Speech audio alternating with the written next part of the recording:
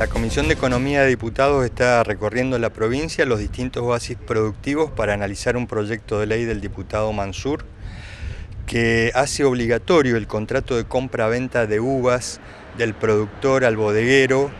que hoy no existe esa formalidad y sí, sí existe para el contrato de maquila. Entonces hay un registro para inscribir esos contratos y darle determinadas condiciones para que tome más formalidad la relación entre productor y bodeguero.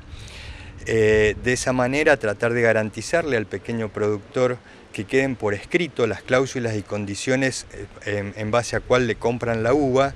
eh, las cláusulas de actualización, las cláusulas de pago, etc.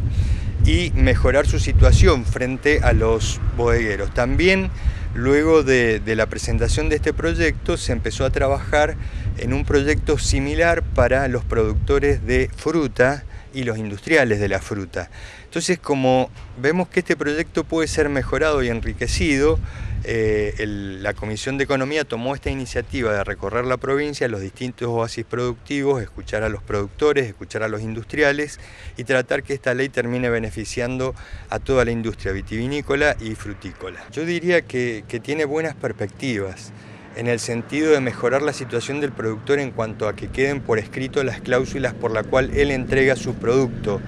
perecedero, su producto que está atomizado entre muchísimos productores, frente a los industriales que están concentrados y de alguna manera tienen mayor poder de decisión. Uno, digamos, se plantea, bueno, todos estos mecanismos jurídicos frente a crisis económica eh, a ver qué sucede, es decir, si ahí cumplen su, tarea esencial. ¿Por qué? Porque cuando la temporada es buena para el precio de la uva, normalmente no hay problema, incluso en aquellos contratos de palabra entre bodeguero y productor, esas cláusulas de palabra se cumplen. Pero me parece que esta formalidad le da un instrumento al, al productor primario para hacerlas cumplir y garantizar las condiciones que se, se hablan al momento de la cosecha y poder hacerlas cumplir efectivamente, aun cuando haya crisis. Es decir, si el bodeguero se compromete a pagar en determinada cantidad de tiempo con determinadas cláusulas de actualización, que luego, bajo la excusa de que el vino no, no anda bien o que el precio bajó,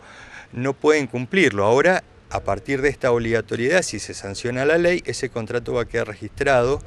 eh, así como los contratos de maquila o los contratos de eh, compraventa de, de vino en la bolsa de comercio,